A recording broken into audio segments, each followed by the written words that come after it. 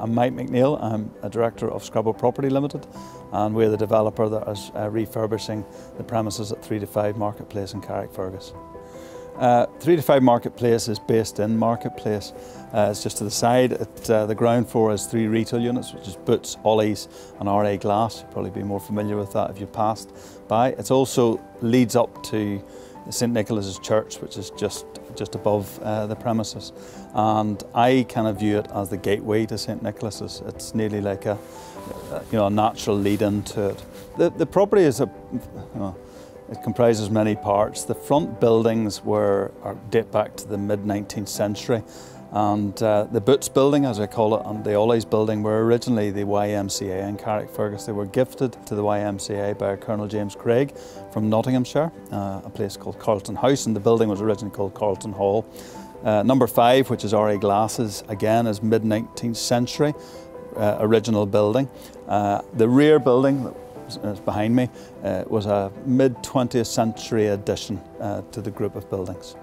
We have been fortunate uh, in terms of the front section of buildings to secure a Townscape Heritage Initiative uh, support to refurbish the front section of the buildings, but uh, the rear building behind me was not prioritised for that support.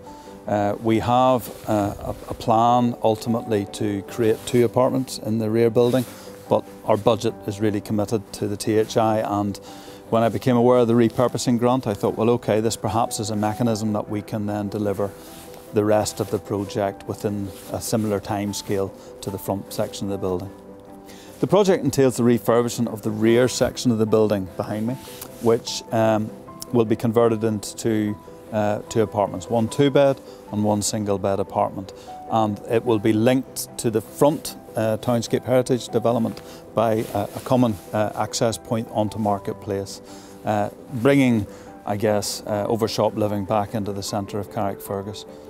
Essentially, the grant will allow the, pro the project to carry forward. We are a, a small company, family business, and you know, we like any business, we have limited budgets, and this really will enable the, the completion of the project. It's as simple as that. Without the support, we wouldn't be able to proceed. Retail is a very challenging environment at the minute, but Carrickfergus has a lot more to offer. There's you know, the vicinity to, to the marine environment, the castle, uh, the, streetscape around the place is lovely to walk in, uh, and I see, I hope that you know, providing residential accommodation in the centre will bring people back into the town and hopefully provide uh, uh, much needed uh, footfall for those businesses that remain, the cafes uh, and restaurants, etc., and pubs that, that are in the town centre. We're six months into uh, the Townscape Heritage um, project, which, as I say, comprises the front buildings, which are the older buildings. The rear building that uh, we're going to move on to is more modern. But yeah, we have, uh, we have an 18th century roof structure, which we've retained in the, uh, the front building. Uh, the original sash windows are being uh, reused, they're being refurbished and reused. Uh, the wall of, of, of, one of the building, the Boots building, is actually the gable wall of the town hall, which dates to 1757. And when you walk through the building and you see the exposed structure, it's a patchwork of history.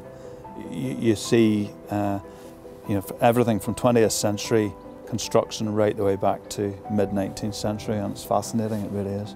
I think um, every time I, I, I, come to site and I see a bit more happening, it, it, it is very satisfying to see what was quite a disjointed uh, building being brought back to life and it, it, does feel a bit like that now actually and I just hope that we can complete the picture uh, uh, with the, the, the, help of the, of the council in terms of these two apartments.